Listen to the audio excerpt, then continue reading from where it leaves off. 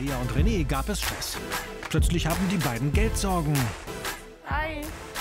Denn viel mehr als Renés Hartz IV bleibt derzeit nicht übrig. Wegen Verdachts auf Sozialbetrug liegt Leas Antrag beim Amt auf Eis und das Internetgeschäft mit den schmutzigen Socken läuft gerade nicht gut. Stattdessen drängt René seine Freundin dazu, sich einen Job zu suchen. Doch Lea sperrt sich nach. Auch Dauergast und Hartz-IV-Empfänger Nino trägt nichts zur Haushaltskasse bei. Was steht denn heute an? Ich muss später noch die Maßnahme. Seit vier Jahren besucht der 21-Jährige regelmäßig Maßnahmen des Jobcenters. Bislang allerdings immer erst nach Aufforderung. Ähm, die Maßnahmen, ich habe beim Jobcenter angerufen und habe von mir aus selber nachgefragt. Also wollte mir äh, keine Maßnahmen geben. Ich habe selber gefragt, ob ich die Maßnahme haben kann, ob ich die Maßnahme machen kann, weil es mir, ich weiß nicht, wie soll ich sagen, ähm, auf den Sack geht. So den ganzen Tag äh, machst du nichts, baust nichts auf. Wenn du mal guckst, andere Leute bauen was auf, sparen, machen, tun. Kredit da, Kredit da, Haus da. Ja. Dann sitzt selber hier, ist eigentlich so nichts in dem Sinn. Was ist der Sinn von diesem Coaching? Äh, Sinn ist Arbeit finden. Und machen, äh, bis jetzt haben wir noch nichts gemacht, großartig eigentlich. Ja. Warst du nicht letztens erst gestern? Nein, vorgestern. Vorgestern. Zweimal die Woche eine Stunde. Oh Mensch. Die Maßnahmen waren für René bisher nur Mittel zu einem Zweck: ein unsanktioniertes Hartz-IV-Leben. Jetzt zeigt er unerwartet Interesse an einer langfristigen Weiterbildung. 14 Wochen. Also insgesamt 28 Mal. Ja. Das ist ja schon relativ regelmäßig, ne? Na gut, ich gehe jetzt mal nicht davon aus, dass ich da jetzt 14 Wochen großartig rumsitzen werde. Das ist so, wie ich mitbekommen habe, eigentlich zum Arbeitssuchen, Ausbildung und sowas. Aber ähm, der hilft mir jetzt auch so bei den Problemen mit der Ohrwach-Nachzahlung und sowas. Im letzten Monat forderte der Stromanbieter von René eine Nachzahlung von 1.694 Euro. Das Jobcenter bezahlt dem Hartz-IV-Empfänger zwar die Wohnung, für den Strom muss René eigentlich selbst aufkommen. Aber zahlt es das Abend oder? Also wir haben uns ja jetzt erstmal in Vorkasse gelegt und müssen mal gucken, ob wir es wiederbekommen oder nicht. Das war auch mein Geld, von dem wir die 850 Euro bezahlt haben. Das Geld aus dem Sockenhandel ist aufgebraucht und René muss noch die zweite Hälfte der Stromnachzahlung abstottern. Helfen soll ihm dabei ein Mitarbeiter des Jobcenters. Was machst du dann bei der Maßnahme? Ähm, mit dem Typ reden, dass er es klärt mit der OWAC und der wollte, glaube ich, irgendwas im Lebenslauf machen. Bislang stand René noch nie auf eigenen Füßen. Nach zwei abgebrochenen Ausbildungen bezieht er seit vier Jahren staatliche Unterstützung. Auch beim Coaching will er wieder andere für sich arbeiten lassen. Dann kann ich mir einen Lebenslauf schreiben lassen. Du sollst schreiben, nicht schreiben lassen. Ich weiß nicht, wie das geht. Am Ende mit der Tastatur. Die Möglichkeiten sind da, wieso sollte es denn nicht nutzen? Ein vernünftiger Lebenslauf ist Grundvoraussetzung für die Arbeitssuche. Das Jobcenter legt genau fest, wie viele Bewerbungen René in einem gewissen Zeitraum verschicken muss. Bisher versuchte der 21-Jährige vor allem sein Umfeld zur Jobsuche zu animieren. Also, wenn du pünktlich bei der Maßnahme sein willst, würde ich langsam mal losgehen, ne? Ja, schon fertig, dann gehe. René lässt es weiterhin ruhig angehen und hat gleichzeitig hohe Erwartungen an das Jobcenter. Dann bis später. Ich hoffe mir von der Maßnahme Arbeit zu finden. Am besten ähm, was, wo ich mit dem Auto hinfahren müsste, damit das Jobcenter mir Führerschein und MPU bezahlt. Doch vorher muss René in den nächsten Monaten regelmäßig zweimal in der Woche für jeweils eine Stunde zum nahegelegenen Jobcenter. Wie ist die Maßnahme gelaufen? Äh, soweit gut. Ähm, Lebenslauf tut er mir fertig schreiben. Ich muss danach dann mal drüber gucken, ob es alles so stimmt. Ähm, OWAC haben wir jetzt noch nicht geklärt. Er guckt, was er machen kann. Das wird äh, vielleicht bezahlt. Der 21-Jährige zeigt weiterhin wenig Eigeninitiative und genießt die Unterstützung durch die Mitarbeiter des Jobcenters. Ist ja komfortabel, wenn er das für dich macht, oder? Ja, ist nett. René will zwar weiterhin die Maßnahme des Amts besuchen, doch an seiner Einstellung zum Thema Arbeit hält er fest. Willst du arbeiten? Ja. ja, ich möchte arbeiten, aber wie gesagt, nicht für Mindestlohn.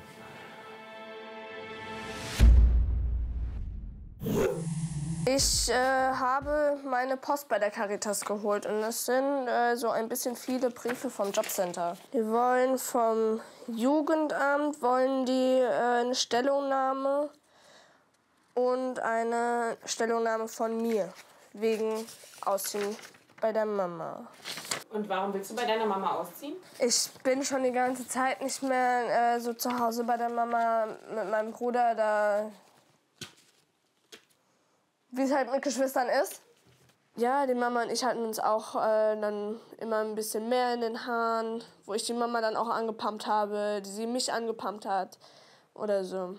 Und mit dem Papa habe ich ja auch so gut wie keinen Kontakt mehr, nur so ab und zu mal. Ich bin ja die ganze Zeit schon im Büding. Also warum soll ich dann nicht äh, auch ausziehen, wenn ich so oder so nicht mehr bei der Mama bin? Hartz-IV-Empfänger unter 25 brauchen triftige Gründe und die Zustimmung des Jobcenters, um in eine eigene Wohnung zu ziehen. Prüfung der Voraussetzung für den Auszug von unter 25-Jährigen. Das muss ich ausfüllen, unterschreiben und muss dann beides zum Jugendamt schicken. Das müssen die dann ausfüllen und dann müssen die das äh, ans Jobcenter schicken. Das Jugendamt muss Leas Gründe bestätigen. Vorher kann das Jobcenter den Antrag nicht bewilligen. Ähm, ich habe äh, schon mit dem Jobcenter telefoniert und es fehlt jetzt nur noch das vom Jugendamt. Sprich, dass ich vom Jugendamt das sagen wir, okay kriege. Ich habe beim Jobcenter beantragt, weil es dann auch sagen wir, leichter ist. Ähm, ich habe jetzt Hartz IV beantragt, so kriege ich dann schon mal mein Geld und komme so dann besser über die Runden. Die 18-Jährige muss sich nicht allein durch die Dokumente arbeiten, denn Freund René und Kumpel Nino kennen sich mit Hartz-IV-Richtlinien aus.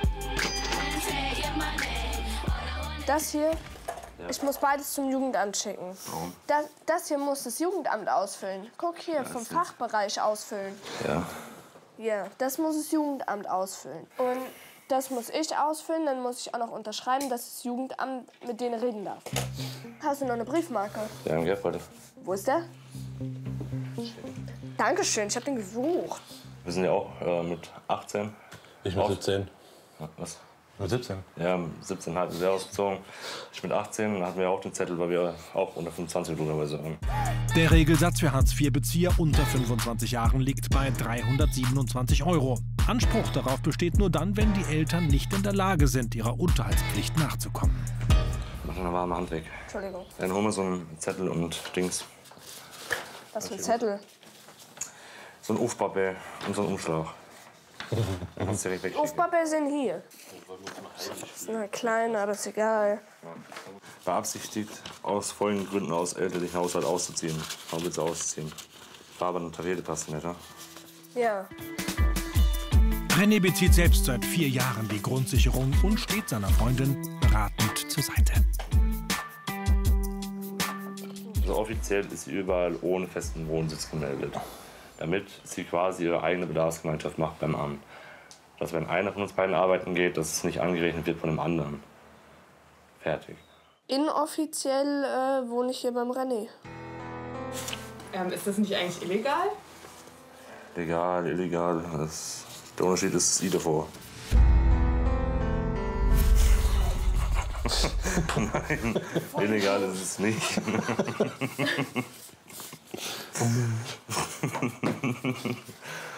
Ey, Man muss ja gucken, wie man es macht. Ne? So, wenn du es auf, einem geraden Weg machst, kriegst du ja drei- 300 Euro fast weniger an Geld. Ne? Und wenn du es jetzt so siehst, ist es, ähm, wie soll ich das jetzt sagen, ohne dass es scheiße anhört? Kannst du nicht. Nee. So, wenn wir eine Wohnung nehmen würden, hätte der Vaterstaat in dem Moment weniger Kosten mit Heizung, Kaltmiete, dies, das. So. Wir hätten aber dann dementsprechend auch weniger Geld, weil wir kochen ja zusammen, dies, das. Ne? So. Aber wenn sie sich jetzt eine Wohnung sucht, dann da nochmal eine Miete gezahlt wird und Heizung und alles für umsonst quasi, kriegt sie dementsprechend mehr Geld, weil sie ja automatisch neuer Haushalt ist. Ne? Obwohl die Wohnung dann quasi leer steht. Mir egal, machen wir es halt so. Lea begeht mit diesen Falschangaben einen Sozialbetrug, der in Deutschland strafrechtlich verfolgt wird. Doch vor der Hartz-IV-Bewilligung muss sie zu Hause ausziehen dürfen. Beabsichtige aus folgenden Gründen aus dem elterlichen Haushalt auszuziehen. Ja, die Farbe im Haushalt passt nicht. Die Mutter kann nicht kochen. Keine Ahnung. Der Herr steht schief. Sowas halt. Die Mutter ist blondhaarig, ich erklär's eigentlich. Ey! ich bin selber mittlerweile blond. Ahnung. Schreibt, äh, das Verhältnis zwischen den Eltern äh, ist nicht mehr so wie früher. Und äh, ja, Na, was habt ihr denn da reingeschrieben damals? meins wurde ausgefüllt vom Jugendamt. Meins auch, deswegen weiß ich nicht, was sie reingeschrieben Der ist aber auch schon sein Leben lang beim Jugendamt bekannt. Nee, Natürlich. ja, ich weiß. Der 21-Jährige ist bereits wegen Körperverletzung und Schwarzfahren unter Alkoholeinfluss verurteilt. Ein Betreuer des Jugendamts hat seine Familie über Jahre begleitet. Ähm, letztes Mal hattet ihr auch erzählt, dass äh, du vielleicht auch einen Job suchen äh, möchtest. Also mit Job hat sich äh, bis jetzt noch nichts ergeben. Warum nicht? Hat nicht gesucht. Du hast keine Ahnung von irgendwas, Doch, ich- willst aber mitreden. Ich habe ganz viel Ahnung. Ich bin bitte Echt? älter. Wovon denn? Weißt du, was ich den ganzen Tag am Handy mache? Nein. Doch, weiß ich. Das ist. Nein, das, weißt doch, du nicht. Doch, Nein. doch. Nein, wenn es mein Handy ist, weil du dann nicht dran gehst. Also woher willst du es wissen? Du brauchst mir nicht irgendwie sagen, oh, sie sucht nicht, sie macht nichts, bla bla. Und du sitzt selber nur da drüben und zockst. Ah, und René macht noch mal was? Es geht gerade nicht um ihn. Ja, du, Wie du ihn immer mit reinziehst. ah ja, Ja, ihr macht beide nichts. Schön, bist du zufrieden? jetzt bist du auch mit drin. Oh, Müll. Lea kümmert sich zumindest um die schriftliche Begründung für den Auszug bei ihrer Mutter. So, die Wohnung von Mama ist zu klein. Mein Bruder braucht ein eigenes Zimmer. Mit ihm verstehe ich mich auch nicht so. Wenn ich zu Hause war, gab es Auseinandersetzungen. Schreibt noch eine Mutter säuft und konsumiert Drogen. Nein. Ah, das ist dämlich sowas. Anstatt man einfach aufs, Jugend, äh, aufs, aufs Amt gehen kann, ich bin 18, ich will ausziehen. Nö, Jugendamt. Haben sie doch nicht mehr alle. Für Lea ist ein anderes Jobcenter zuständig, seitdem sie in Büdingen obdachlos gemeldet ist. Sagen wir es mal so, wo ich äh, noch in Lauterbach beim Jobcenter war, äh, habe ich gesagt, äh, ich habe Arbeit in Aussicht. Und dann setzt er sich vor mich. Ja, da müssen wir aber dann erstmal gucken, ob das in Ordnung ist, was sie dann verdienen. Mensch, was ist das bitte für eine Arbeitsmoral? Dann bleibe ich lieber mit meinem Arsch daheim, ja, anstatt ich mir so eine Scheiße von ihnen anhöre. Die Abhängigkeit vom Amt kennt die 18-Jährige seit ihrer Kindheit. Also es ist kein neues Gefühl, dass ich, ähm, sag ich mal, wieder vom Jobcenter abhängig bin, weil wo mein Vater damals ausgezogen ist, ich war sechs Jahre alt und dann hat die Mama Hartz IV beantragt, weil das Geld einfach nicht gereicht hat. Und ich bin mit Hartz IV aufgewachsen. Ich kenne es nicht anders da. Bisher hat sich Lea mit kleineren Unterhaltszahlungen ihres Vaters und dem Verkauf von getragenen Socken im Internet finanziert. Jetzt soll das Jobcenter Leas Zukunft sichern. Der Brief an das Jugendamt entscheidet, wie viel Unterstützung sie vom Staat bekommt. Hoffe, dass das alles klappt, dass äh, das Jugendamt dann auch sagt, äh, ja, du darfst ausziehen. Wir bewilligen das auch. Ich hoffe, dass äh, der Hartz-IV-Antrag dann durchgeht und ich jetzt relativ zeitnah mein Geld endlich bekomme. Lea gehört damit wohl bald zur zweiten Generation der Hartz-IV-Bezieher in ihrer Familie. Und das, obwohl sie mit 18 Jahren alle Chancen hätte, eine Ausbildung zu finden.